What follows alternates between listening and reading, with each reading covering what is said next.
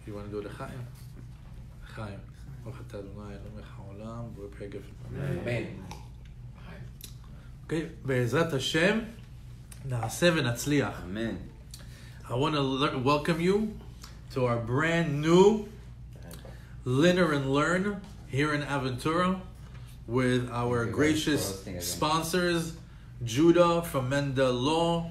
We have the Dornbush family from H&M Builders. And of course, we also have our food sponsor, Hummus Factory, who uh, sponsors every single week. It's a beautiful spread, lots of fresh food, plenty to go all around, very delicious. Everybody is enjoying it. Hashem, if you guys can frequent their businesses, they have one in uh, Hollywood, they have one in Boca.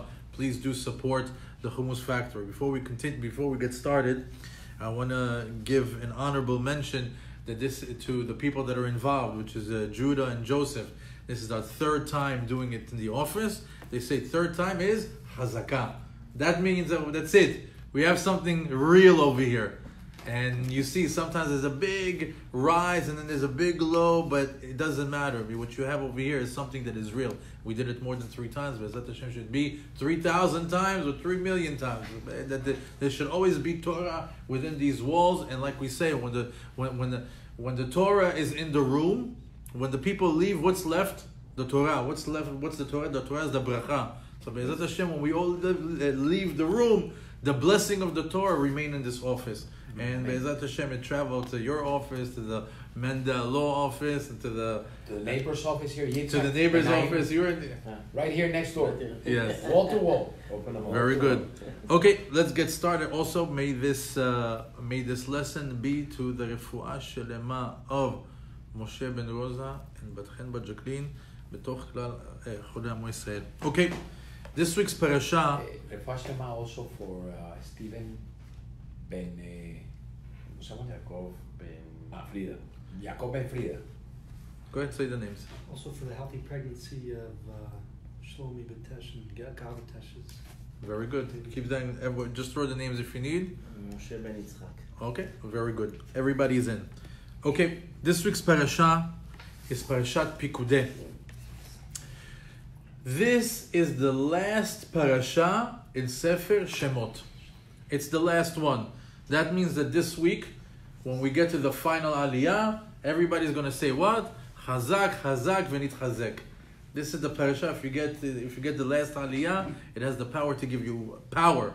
Chazak, Chazak, Venit Chazek. Every time we complete something, we're happy about it. Every time we start something, we're very happy about it. So this week's parasha, Parashat Pikudei, is the last of, of Sefer Shemot, as we start the new book of Vaikra next week. Basically, what is this parasha talking about? We have the an interesting uh, topic that uh, is discussed. We have the Mishkan. For the past few parashiot, all we do is talking about the Mishkan, the Mishkan, the Mishkan. And this week's parasha, it continues. More things about the Mishkan.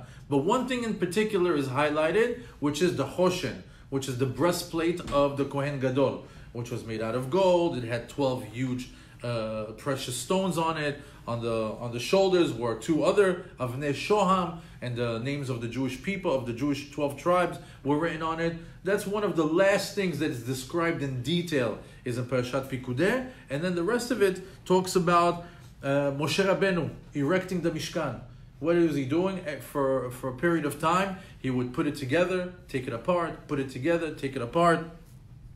He would prepare it for its first day of use. He was preparing it for uh, Aleph Nisan, which is the first day that the, uh, the actual Mishkan is going to uh, go into action, and people can actually come and bring korbanot, and we can do the service that uh, the daily services that we were supposed to do uh, on a day, um, uh, in the Mishkan. Now, several things are worth mentioning in this parasha. These are things that you should know. In the first pasuk, it says, "Ele pikudei hamishkan." משכן העדות, אשר פוקד על פי משה, עבודת הלוויים ביד איתמר בן אהרון הכהן. It says this is the, the recounting of the Mishkan. Which Mishkan? The Mishkan העדות that was put together or was uh, recounted by Moshe Rabbeinu and Avodat HaLeviim and the work of the Levites in the hands of Itamar ben Aaron HaKohen. In other words, Moshe and one other person, Itamar, were recounting all the work, all the donations that we're taking into putting together the Mishkan. So, what does this mean? Well, basically, in the past few parashiyot, we know that the Jewish people started to donate gold, silver, copper, wool, linen, all these special leathers, all these special items uh, that were necessary to the building of the Mishkan. So now they were taking stock inventory. How much did we take of this? How much did we take of that? They're recounting it to make sure that uh, everything is accounted for, and like an inventory. Moshe, you should know something that uh, you know a side point that you should know. Moshe became very very wealthy when he wrote the second luchot. The second luchot did not come from the heavens. Moshe Rabbeinu got it from over here, from earth. It says over there, "Psol lecha shne luchot, luchot avanim karishonim." When the second luchot were taken, uh, at, at God's instruction, Moshe took this special stone called Sapir It's a very precious stone. And from that stone, he started to carve out whatever Hashem told him. And from those carvings, the leftover, the psolet of these carvings, was a precious stone. This is very, very expensive. And that's how Moshe Rabbeinu became very wealthy. However, when it came to the donations, there was a rumor they say, you know what, Moshe Rabbeinu looks a little bit different. The back of his neck looks like a little fat. In other words, it looks like he's uh, he got a little bit richer. So when Moshe Rabbeinu was hearing this little rumor, he says, maybe they don't trust me.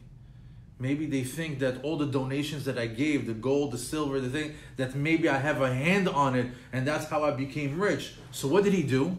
He sat in front of everybody he brought Itamar Cohen, and they say, why did they choose Itamar Cohen? He happened to be very good in math. He sat him down in front of the Jewish people, and he started to count. And he says, bring me all the donations. And he says, what are the pikudei? He says, these are the recountings of the gold, the silver, the copper. He says, the gold, we had 29 kikar and 730 shekel. These were the measurements of back in those days. He says over here, then on the silver, we had 100 kikar and 1775 shekel. So now they're making the calculation and say, okay, this much went for the walls, this one meant for the for the uh, for the sink, another one for the altar. All of a sudden, when it comes to 1775 shekel of silver, and where did it go? And it escaped escaped Moshe. He's like, I don't know where that those 1775 uh, silver coins went. What did we use it for? So the people started to suspect him that he was starting to benefit from these donations. All of a sudden, a heavenly voice came from the heavens and told him 1775 was for the Vavim. He's like, ah, the Vavim. The Vavim were these little uh, eyelets that locked in all the, the wood planks together. If you guys are in construction, you'd appreciate it. If you ever see that the construction is very interesting, it's two pieces of wood, and how did, would the two pieces of wood they be attached. done? They attached. They put like a, like a ring, and the ring would attach the two Ah, two pieces of wood, and then next and next. Okay, Attachments. the attachments. So when they finally said, ah, yeah, yeah, yeah, the Vavim, it escaped us, the Vavim, they said, ah, okay. Now there was a relief, and Moshe earned the title of Moshe Ish Ne'eman. He was trustworthy. So we, uh, so we, see that over here that the, the, the Pikudei was something very interesting. We think that he's just recounting, but behind the scenes, we see that there's more. That Moshe, in a way, is clearing up his name. Furthermore, in the parasha, if you pay attention to it in the reading, 18 times it's said, Kasher tziva Hashem et Moshe. Kasher tziva Hashem et Moshe. Kasher tziva Hashem et Moshe. 18 times it says that the same way that Hashem commanded Moshe, he did it exactly to the T. Whatever Hashem asked him, he did it to the T. He didn't change not one thing or the other. For what? Hashem is saying, the Torah is saying that whatever Hashem commanded, Moshe did. There was no ulterior motive. There's no uh, some other way of thinking or other way of doing. As he was commanded, that's what he did. And what does that do? It gives him credibility. In other, in other words, when he fulfills Hashem's uh, commandments to the T, everything that had to be carried out to uh, with the Mishkan was in accordance with the divine plan. In other words, in agreement with what Hashem wants, and also for its purpose. So it's 100% holy. There's no doubt around the building or the items that were built or the collections or donations. Everything was clear and perfect. Later on, towards the end of the parasha, there's something very interesting. We finally get to the inauguration ceremony. It's called the Yemei Miluim. It was an eight-day process when Moshe Rabbeinu was uh, setting up the Mishkan by himself, by the way, by himself. It's not humanly possible. It's not humanly possible to hold up two huge pieces of wood and to also put the, the rings together or to put anything. Look at the Mishkan. It's impossible for one person to put it up. However, Moshe was doing it eight days, one day after the other. As a matter of fact, there were things that humanly were not physically possible, and it happened by way of miracle. Moshe Rabbeinu was taught by Hashem during this eight day period the purpose of each vessel. Each thing, what needs to be done, each korbanot, how to bring it, how to, which type of clothes for, for Aharon Kohen and his children. Every single thing that had to be done with the Mishkan in this eight day period, Moshe was setting it up and he was taught by Kadosh Baruch Hu its purpose and its use. For example, the Midrash says, it says that he would prepare the candles for the menorah. He would anoint oil over all the vessels, meaning uh, you know the every single thing that was used in the in the Mishkan was anointed in oil. It was a process. He was he had to learn how to offer the korbanot. He also knew had to know how to dress and to anoint Aharon and his children. And not only that, on the first of Nisan, Moshe Rabbeinu was the first one to bring the sacrifice of the ketoret, the incense offering. Now, Aleph Nisan, the first day of Nisan, the opening ceremony, the inauguration of the Mishkan, we have something very unique that happened that is spoken about in this parasha because in other parashiot there's other things that happen on that day. We'll discuss it when we get to it. But in this parasha it talks about that the clouds of Shekhinah, God's holy presence, came down from the heavens and rested in the Mishkan and filled its presence in the entire Mishkan. You have to understand this is not a simple thing, what I just said. To have the holy presence of a Kadosh Baruch Hu come from the high heavens and come down to the Mishkan and to reside is something that is practically impossible. How impossible? Let me fill you in. God's holy presence was actually supposed to be in, uh, in the world all the time. We were supposed to feel Him everywhere. Everywhere, we're supposed to feel the holy presence of a Kadosh Baruch Hu. That's how the world started. However, Midrash Rabbah talks about this. It says that Hashem's Shekhinah withdrew from this world seven times. The first time that it took itself out of this world and went into the first heaven, because there are seven heavens. Above us are seven heavens. Beneath us are seven worlds, seven olamot.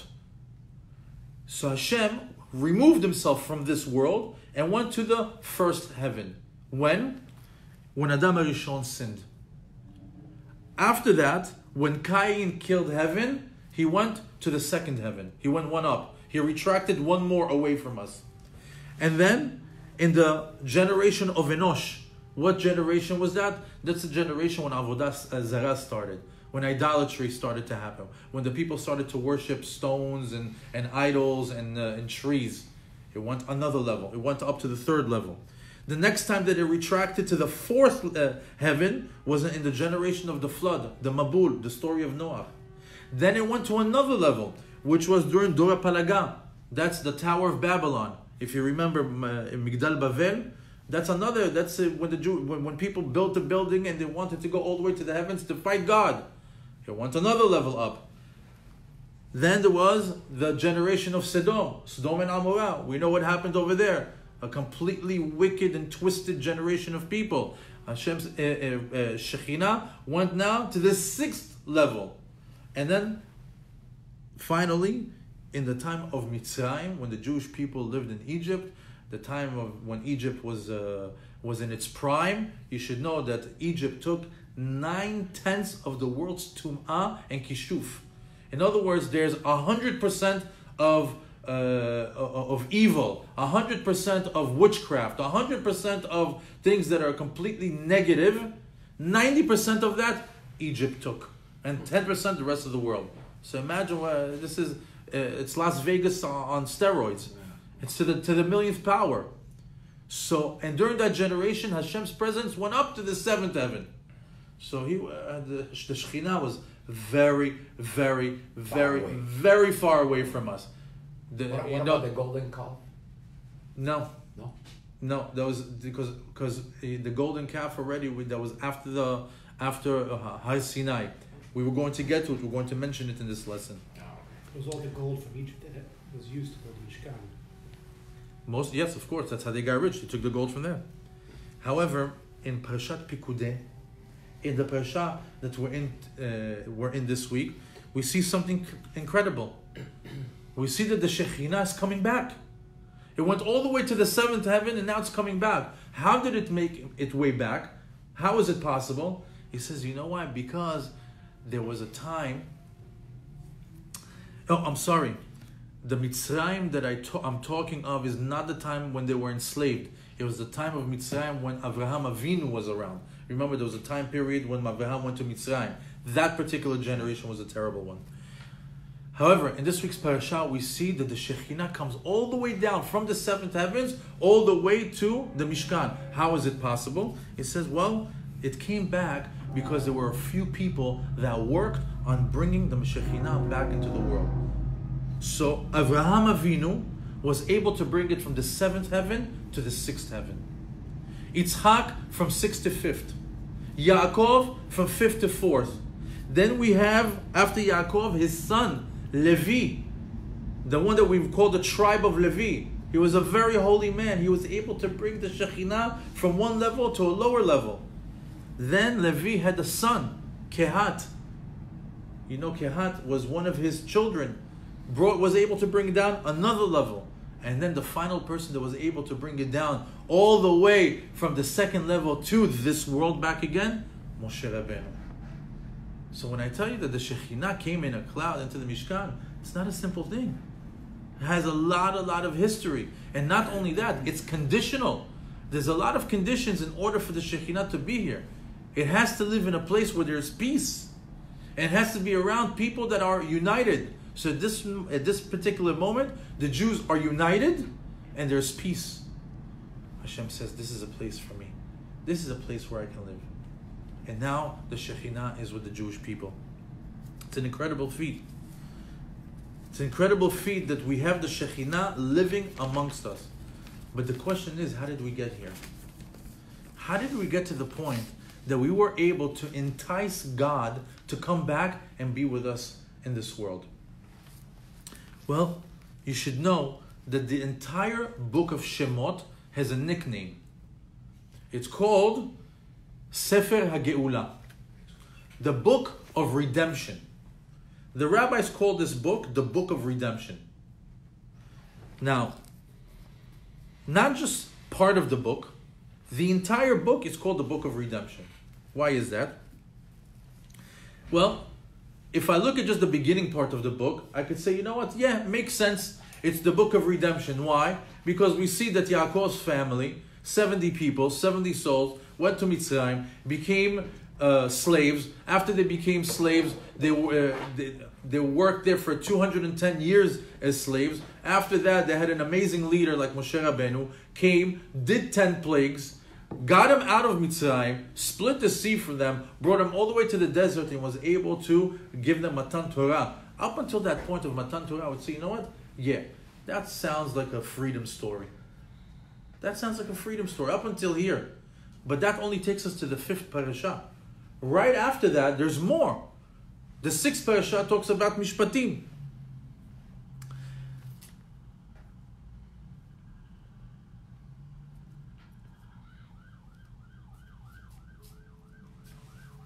Actually, let me give it to you in detail. the Matan Torah, the, if, if we say that the finishing of, of the Geulah is the Matan Torah, we see that it can't be because the book finishes with what story? The book finishes with the Mishkan and the breastplate. Why would that be the ending to the story? So we have to go a little bit deeper to understand this concept. There are 11 parashiot in the Sefer eh, Shemot. 11.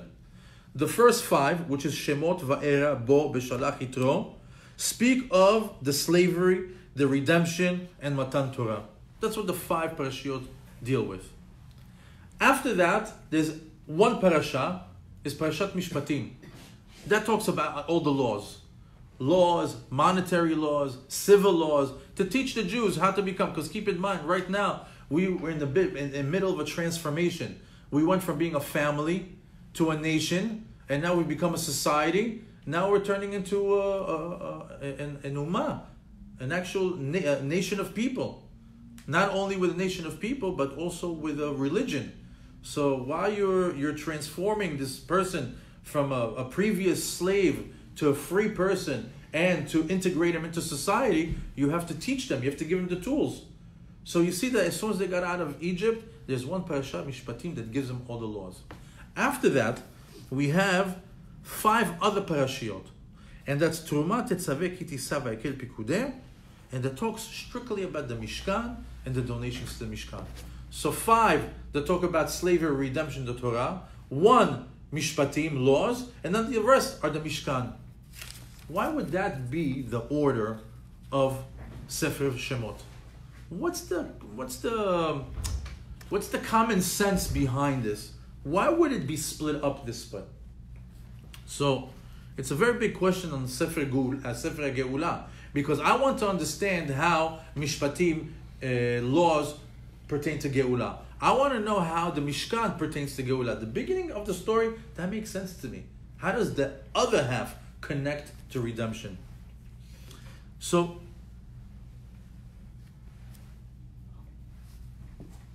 this is the connection. Let's try to imagine it. It's always good to imagine. Imagine you are that person. Imagine you're that Jew in Egypt. So basically, you are one family right? Yaakov Avinu is the father.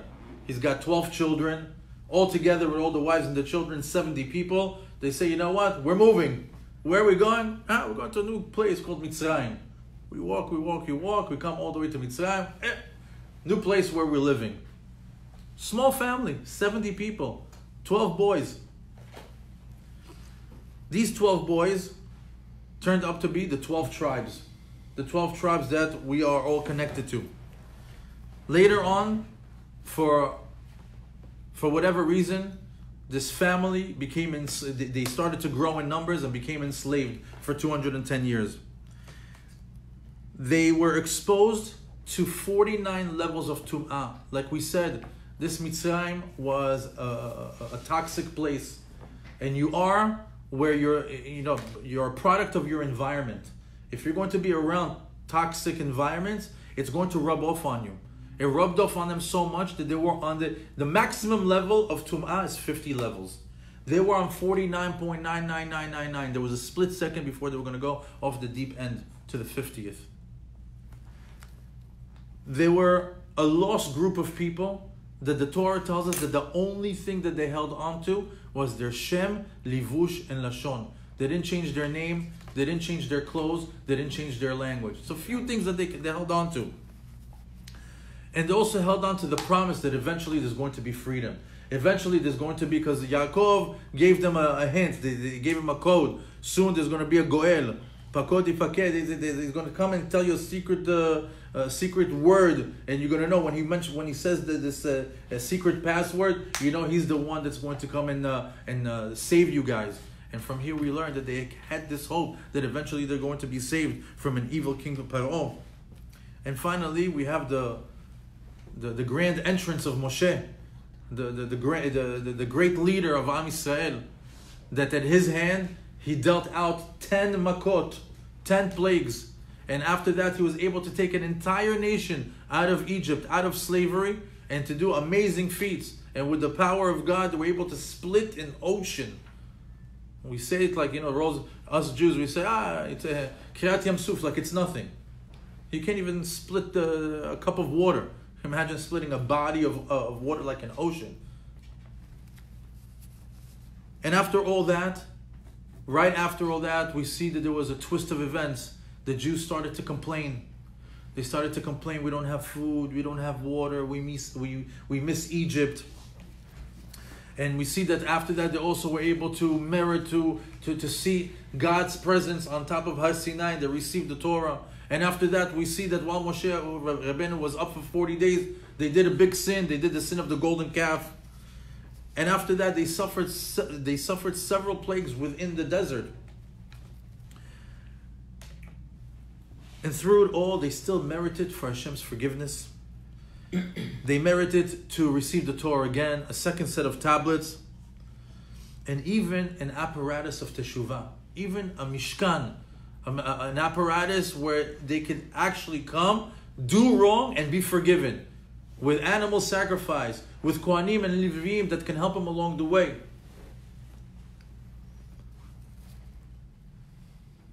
And eventually, the climax of Shemot, the climax of the story, is that we have this Mishkan and we have this unison of Am Yisrael in sync with God, with love, peace, and, and, and fervor for the Torah and the mitzvot and the Maasim Tovim. They want it. They want to be Jews and they want to keep the Torah. Okay? That's the story. But this story was actually a formula. It's actually a formula. The entire Sefer Shemot is a formula to life. If you want to know how to be successful, how to get to a point where God is residing in your life and you are connected to Him and living with Him, you have to go through the exact same journey like the Jewish people.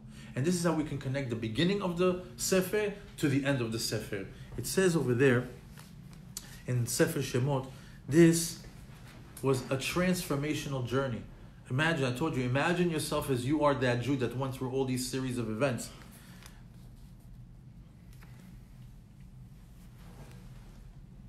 As a human, uh, as a human being, we all start small. They started as twelve people, small family. We all start small. We all we start off as children. Later on, we grow. We do college. We do school. We do work. We're in the growing process. We all start small, right? Eventually, along the process, we become slaves. We become slaves. How do we become slaves? We become slaves to our body. We become slaves to our minds. I'll give you some example. Some people are enslaved to their body. Why? They take drugs, they can't put it down. They're a slave to the drug. There's some people that are slaves to food. They can't stop eating. There's some people that are uh, become slaves to the mind. You know, they get into phobias, they get into insecurities, and they just freeze. They become uh, entrapped within their own body. It happens to all of us. It doesn't always have to be a physical slavery. There's a lot of things going on within the human body and the human emotions that lock you in, and it becomes a challenge.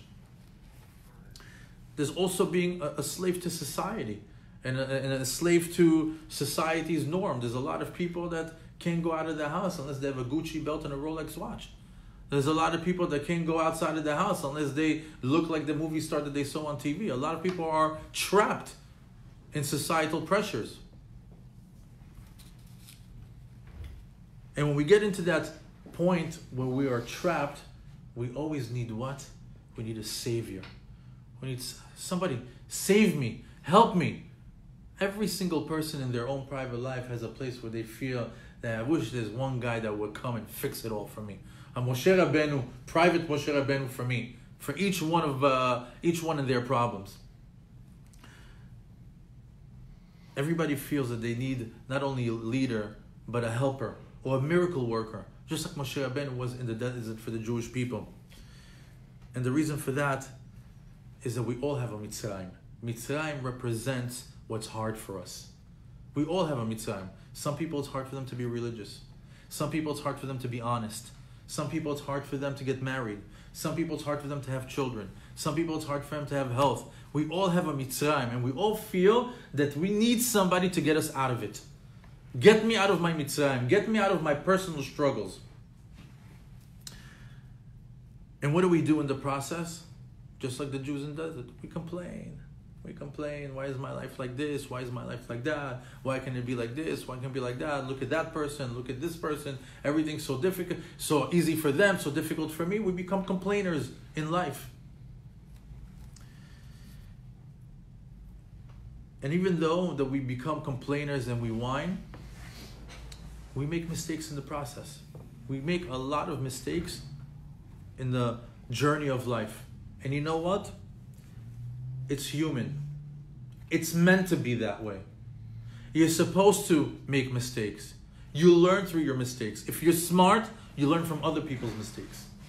But part of life is trial and error. Trial and error. A tzaddik, he put sheva pamim. They said that seven times a tzaddik is going to fall. You know why they say seven times? Because every day, every day is going to fall. But veyakum, he gets up. I, whatever was was. I made a mistake. I know now not to make that mistake again. Reset, new day. Let's start new. That's how. That's that's life. We have here a situation where people are struggling and making mistakes and are feel trapped and feel enslaved in their own life. And then to every single person in this room and outside of this room, comes a moment when they're introduced or they bump into religion. All of a sudden, out of nowhere, the Torah pops up and says, Hi, remember me? Remember from Sinai? Your neshama was there. I'm here to talk to you. For some people, it happens when they're young. For some people, it happens when they're in their midlife. For some people, it happens when they're very old. But at one point, everybody comes across the encounter of the Torah. And what happens is since you open up the book, right away, Mishpatim. Ah, this is allowed, this is not allowed. This I can do, this I can't do. And everybody, same thing. Just like the sixth parasha in Vaikra, came all the rules, all the guidelines. Why? It's the instruction manual. The Jewish people came into this world, and Hashem says, as soon as you're you're ready to understand and you're capable of, of grasping, at the age of 13, you have a bar mitzvah, you're responsible, here's the book. We keep saying it over and over again. What's the Bible? Basic instructions before leaving earth. Here you go. Here's the owner's manual. Here you go. Use it. You want to be successful in this world? Every single thing. 613 ways to be successful. And once, that's, once that comes around, you push it off. You push it off. You know that the Torah is good. You know that it's right for you. You know it's the truth. You know it's exactly what you what you need. But what do you do? You push it away. And after you push it away, you do, you make mistakes. But what happened? Now that you know the truth, it's hard for you because you made a mistake and you know that it's the wrong thing. So what do you do? Tshuva. Just like the Jewish people. They made they made a mistake, they made tshuva, they did the ega, they did tshuva, they complained, they made tshuva. Trial and error, trial and error, trial and error. Back and forth, back and forth. However, right after this trial and error in the in, in the desert, just after this trial and error of a person that goes through the the, the, the highs and lows in life and then they discover the Torah and after they discover the Torah, after they discover religion, they still go back and forth and they're failing and they're making errors. What happens? There's a part that comes and you have an awakening. You know, the second part of Sefer Shemot, it says, V'asuli mishkan v'shachanti betocham. They should create for me a, a, sanctuary and I will live within them. In other words, I will, li- I will live inside of them. Not the building, not the Kodesh HaKodashim. Live inside of them, physically in their body. That's what happens. You start to get a yearning that you want Hashem as part of your life. You want to connect to God and you start to say, I'm missing a very important relationship in my life. Where is my relationship to God? Where's the Vashachanti betocham with me and God? Where's my connection with God? How come I don't have a, a relationship with God?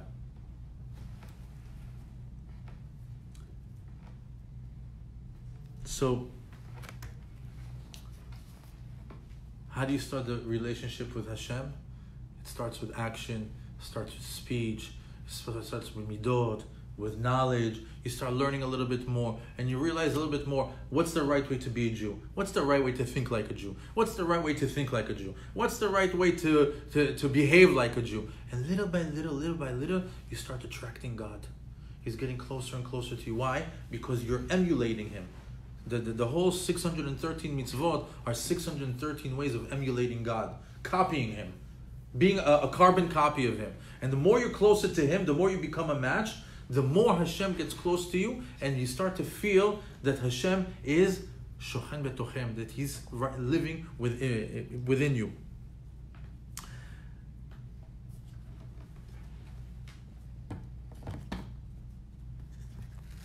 You know, it's the same, the, the book Shemot. Shemot is the word plural for names. You know what's names? Hashem means the name. Hashem means the name. You know what's Hashem backwards? Moshe. Moshe. So when we talk about Hashem, the name of God, and Moshe backwards, what do you get? You get the Shemot. Why do you get the Shemot? because you get the Shemot that are going to get you there. You get God's name and you get Moshe. Those are the two people that are going to get you on this journey, this transformational journey. And this transformational journey is the journey of 12 children of Yaakov that became 12 tribes of Israel. And they turned to slaves and they had a very turbulent relationship between with, with their leader Moshe. They had a very turbulent relationship with God. They had highs, they had lows. Some of the highs were very high. They had the Ten Makot, they had Kriat Yam Suf, they had Matan Torah. These are very, very high moments in, in spirituality and a relationship with God. However, they had some very, very low points as well. They had the the complainers, they had the Fidim, they had the Chet Egel. But again, once they accepted the Mishpatim, once they understood the laws, once they were able to use the tools, the mitzvot, to connect to Hashem,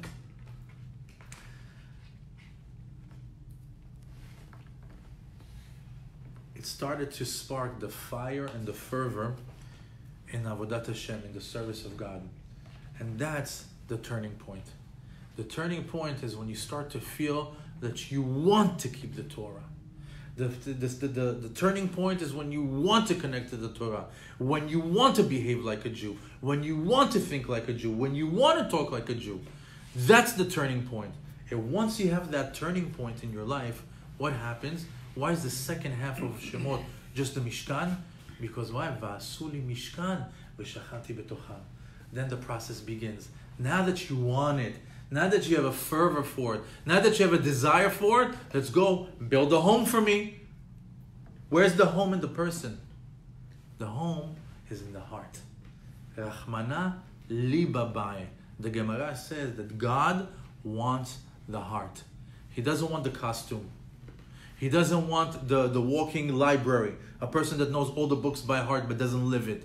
The one that has the look like a, the perfect Jew costume but doesn't live, have the midot. Rahmana libabai. Hashem wants the heart. And why? Because when he says Vasuli Mishkan v'shachanti betocham, where does he live? He lives in the heart. How did we get there? How were we able to attract God back into our lives? That we become a magnet, that everything that God is, we start to come to be part of our lives? It was very simple the Jews started to get connected to the Torah, and in turn, it made them what? United. And after they were united, they were peaceful. They had shalom. So here's the formula. Here's the formula.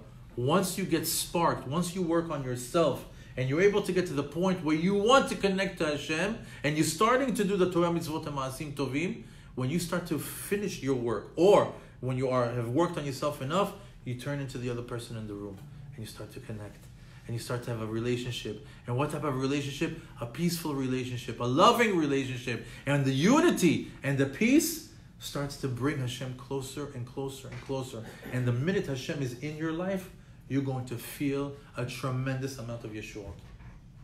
Hashem in your life, you feel it. You feel when Hashem is living with you. And it all happens through the formula of Sefer Shemot. you know, out of all the parashiyot, the last parasha, and with this I'll conclude, Parashat Pikudei, even though it mentions the entire kelim of the Mishkan, which we just spent four weeks on it, over and over and over and over again, on the last parasha it saved no. There's one other thing that here we're going to talk in detail. It was the choshen, the breastplate. Why? Why would he, the breastplate with the big uh, precious stones right on top of it, 12 stones and two on the shoulders, why would that be the last thing that we learn about in Parashat Pikudei? Because the breastplate represents the 12 children of Yaakov, who became 12 tribes, who became 12 precious stones on the breastplate of the Kohen Gadol in the Mishkan. Remember the beginning of the story. There were 12 people. It was a small family. In the end of Sefer Shemot, they were tribes that merited the kavod of having a diamond on the breastplate of the Kohen Gadol in the holiest place of all on the on planet Earth where Hashem is going to be. What a transformational journey. Look where they were and look what they've become. And what transformed them? One thing has the power to transform. It's the Torah. And because we have a Jewish neshama, it's the one thing that transforms the, uh, the, the, the person. Sometimes a Jew goes all around the world looking to change. I want to become richer. I want to become smarter. I want to become uh, cooler. So, uh, all these different things that people search for, and it's like never fits. Like a, it's like a circle into a square. It's like a star into a diamond. Ah, it never fits. Trying so many different fits, and it doesn't work. Because the one thing that works for the for the connection that we have, for the neshama that we have, is the one thing. The minute you start to apply uh, Torah and a Jewish soul, square to square, triangle to triangle, everything fits. That's what works for us. The transformation of a, of, of a small family to such an honor is the Torah that transformed us. And we see that the Rahmana, and the reason why I put over here that these 12 stones will be right here on the chest of the Kohen Gadol, because Rahmana libabai. Hashem wants the heart. He wants those 12 stones on the heart to show you that's where I want you. That's where I need you. That's where I want to connect with you. When I live in your heart, when this Mishkan is gone, I'm still want to be where? I want each single tribe to have me on their heart. That's why it's in this parasha. And that's what the, the uh, Parashat Pikudei ends with that particular uh, particular piece of article in the Mishkan.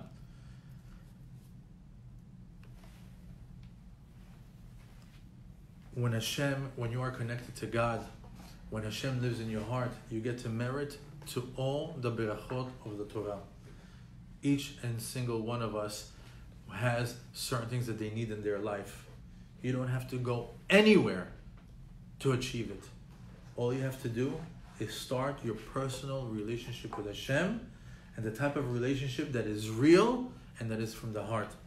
Be'ezat Hashem, as we finish Sefer Shemot, at the end of the week, eh, on Shabbat, we're going to say, Chazak, Chazak, v'nitchazek. Bezat Hashem, Chazak, Chazak, v'nitchazek ba'avodat Hashem. That we really get closer to Hashem. That we really start to connect. Because that's where the magic is. That's where the blessing is. Everything is hevel avalim. You fell for the sketch. You don't understand. If you are not feeling that, you are in the, you are on the default program. As a Jew, this is what works for us. This does not only what works for us, is what we need. And not only that, we're in the time of Ikvita the Mashiach, the time of Mashiach. If we're not going to get connected now, there's no round two. It's like you have to get with the program now, so you can be part of the group that gets part of the Geulah. Yetziat Mitzrayim, 80% died in Makat Choshech. Only 20% of the Jews made it. They said that the final Geulah is going to be identical. Only 20% of the Jewish people are going to make it to the Geulah. 80% are not. Where are you? Are you part of the 20% or are you part of the 80%? Rahmana li babai. All you have to do is give Hashem your heart and you're part of that club. Eliyahu Navi is going to take that red velvet rope and said, you, come, you're in. Rahmana li babai.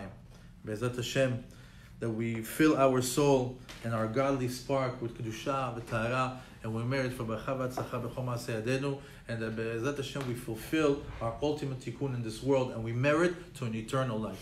Shabbat Shalom. Chaim. Shabbat shalom.